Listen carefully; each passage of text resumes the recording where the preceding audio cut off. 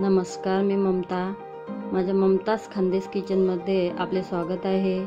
आता लॉकडाऊनमध्ये आपल्या घरात भाजीपाल्याची टंचाई सर्वांनाच जाणवत आहे. त्यासाठी मी अगदी घरातल्या साहित्यात लहानांपासून मोठ्यांपर्यंत आवडतील अशा ज्वारीच्या पिठाच्या खमंग चवदार व तिखट पुऱ्या बनवल्या आहेत.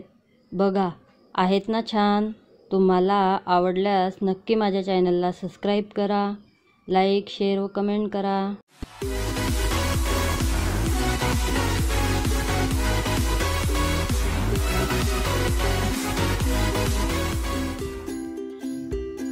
ज्वारीच्या तिखट पुऱ्या बनवण्यासाठी मी तीन वाट्या ज्वारीचं पीठ घेतलेलं आहे आणि अर्धी वाटी गव्हाचं पीठ घेतलेलं आहे. ह्या वाटी वाटीचंच प्रमाण आहे.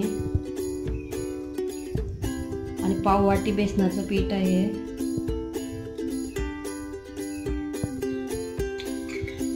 एक चमचा ओवा दोन चमचे तीळ अर्धा चमचा शोप आणि अर्धा चमचा हळद आणि एक छोटा चमचा जिरं. चवीनुसार मीठ. त्यामध्ये बघा मी चार पाच हिरव्या मिरच्या आणि तीन चार लसणाच्या पाकळ्या या थोड्या अशा जाडसर फिरवून घेतलेल्या आहे मिक्सरमध्ये आता ह्या पण घालून घेऊया.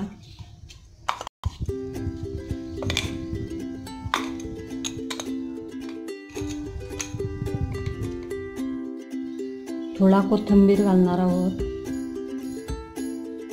आता हे आपण सर्व साहित्य एकदा चांगलं कोरडं मिक्स करून घेऊया.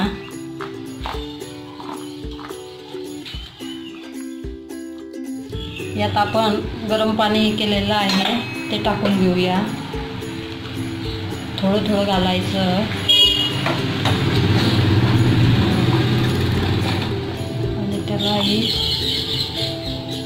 उलटणीनं छानपैकी मिक्स करून घ्यायचं. अजून थोडंसं घालून घेऊया. आता आपल्याला थोडं थोडं पाणी घालून मळून घ्यायचं आहे. कारण ज्वारीच्या पिठाच्या असल्यामुळे थोडं थोडंच घ्यायचं पाणी. खूप आधी मळून नाही ठेवायचं. नाहीतर लाटताना त्यांना तळा जातील. बघा आता आपलं पीठ मळून झालेलं आहे. पुऱ्या लाटता येतील. इतपत आपल्याला गोळा तयार करून घ्यायचा आहे. बघा आता आपण मी मोठा गोळा घेतलेला आहे आणि तो असा लाटून घेते आहे. बघा असं जाळसर थोडंसं ठेवायचं आणि आता ग्लासाच्या मदतीने कपून घ्यायच्या.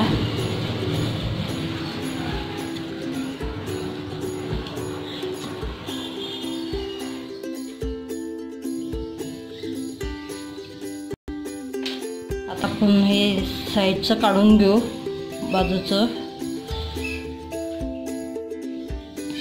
आता त्यावर आपण थोडे थोडे तेल टाकून घेऊ.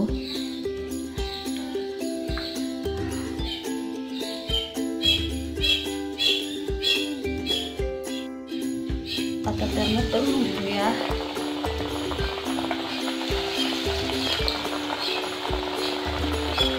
हळूहळू सोडायची